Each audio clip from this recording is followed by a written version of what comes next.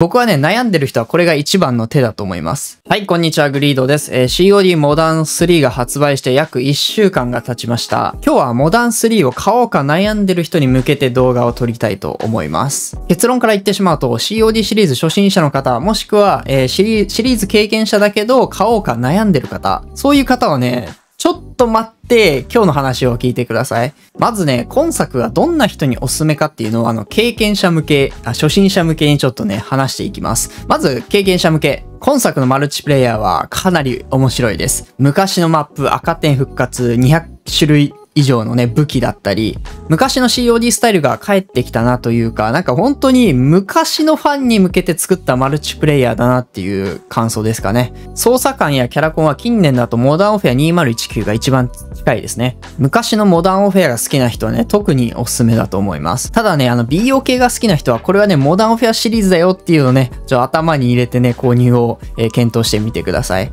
特にマップ、昔のね、マップってね、結構脳筋スタイルじゃ通用しなかったりするんですよ。ちゃんとリスポンを取りに行ったりとか、強ポジをしっかり取りに行ったりとかね、あの BOK みたいにそんな狭くないので、なんか人数でゴリ押ししてエリアを取るみたいなことはあんまりできないから、そこはちょっと注意かな。次に COD シリーズ、初心者の方に向けて、今作は、えー、すごくおすすめです。で、COD シリーズっていうのは、どんなタイミングで始めても全然大丈夫です。だから今からでも大丈夫だし、スキルマッチシステムがあるので、まあ、いきなりプレイして、こう、サ部屋に放り込まれるみたいなことはありません。バトロワとね、違ってこう何回でも復活できるから、本当に FPS 初心者の方に僕はおすすめだと思います。特にこう、現代戦の武器だったり、現代戦 FPS が好きな人はすごく、えー、モダンオフェアおすすめですね。経験者初心者へのおすすめ内容はこんな感じなんですけど、まあ基本的におすすめできます。ただ、ただね、ここで問題点があります。そのね、1万は高い。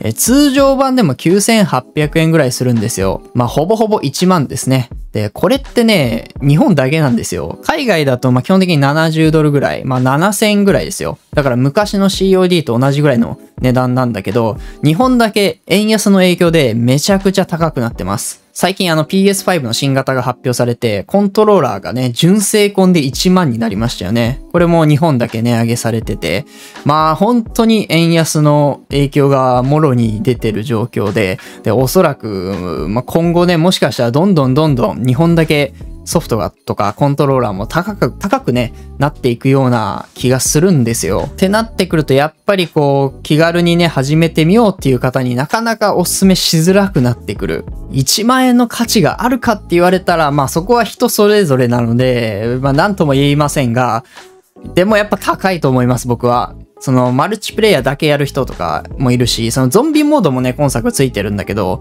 えー、ゾンビモード大ボリュームなんだけど、まあ、プレイしない人にとってはね、ちょっと、ただ値段が高いだけになってしまうので、うん、ここはね、問題点なんですよ。そこで、こう、買おうか悩んでる人、もしくはこう、初心者の方は、一旦値下げを待つっていうのも手だと思います。もしくはね、12月から始まるモダンオフェア3仕様のウォーゾーンを待つっていうのが僕は一番いいと思います。COD はね、あの、有料のマルチプレイヤーだけじゃなくてね、あの、無料のバトロアモード、ウォーゾーンっていうのがあります。正直今の COD 人口のメインはもうウォーゾーン、このバトロアモードです。まあ、まあ、それでもね、アメリカとかはさ、人口が、総人口がめちゃくちゃ多いから、それでもマルチプレイヤーはね、まあ向こうだと一番売れてるし、人口はものすごくマルチプレイヤーでもいるんだけど、ね、やっぱ無料っていうのが大きくて、なのでそこでやっぱり無料のウォーゾーンを一回触れてみて、操作感とか武器とかね、触ってみて、まあ、マルチプレイヤーもちょっとやってみたいなって思う人は、マルチ買ってもいいし、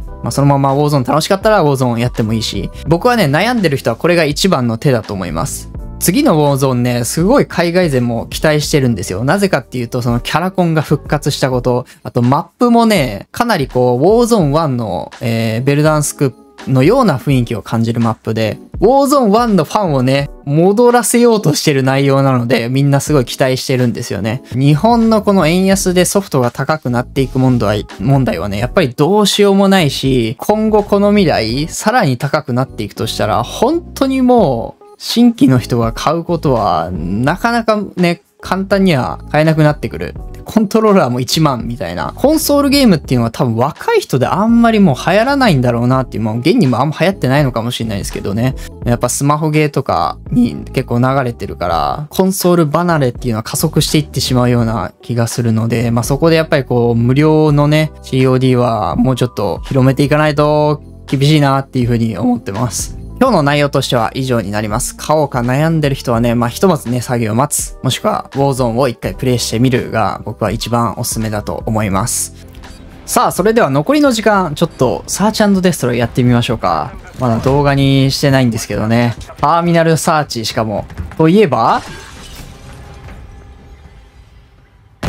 誰も来ない誰も来なかったわあ、ちょっとこれもう行かれてるかもな、上。おうマジか。この適当フラグ当たっちゃう？あ、もう上います上いますこれ。ってなると、こっちからじゃもう無理だから、一旦距離取って。なんだこいつ。なんか、サーチナイファー多いの何なんだ？ナイスちょ、裏取りしてみようか。おった危ねえ。味方のカバー行くか。死んでるけど。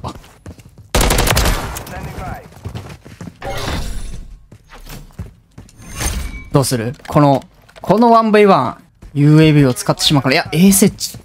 ここでの A 設置。うわー、こう、クリアリング箇所。ええー、マジか設置してこっち回ってくるのか。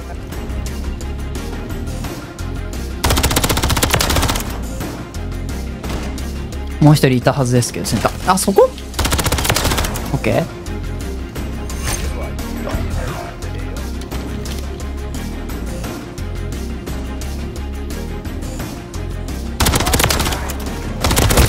ッケー down. And...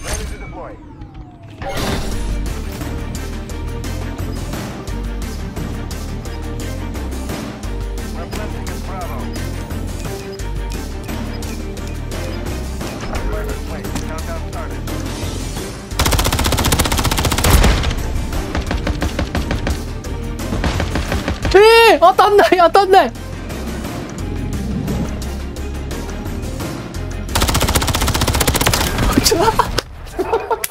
Yeah, I... 過去一クソエイムでしたね、もう。え、待って。ここ数年で一番のクソエイム出したかもしれん。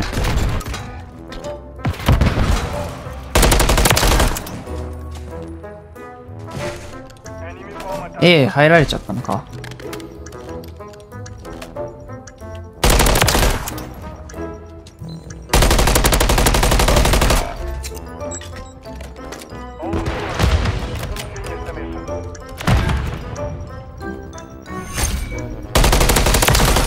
No, he's not. うわ何何何 I'm about to talk hella shit to Borland.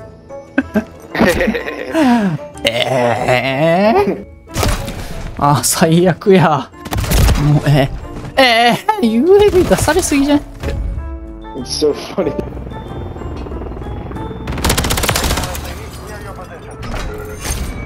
いや、攻撃ヘリ出ちゃった。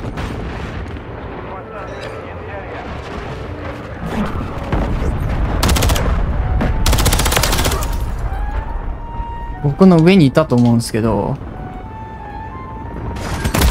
いや、そうだよねそうだよねあ、終わったかこれ終わったか。16キルしたんだけどな No way! No fucking way! ダメだこりゃ。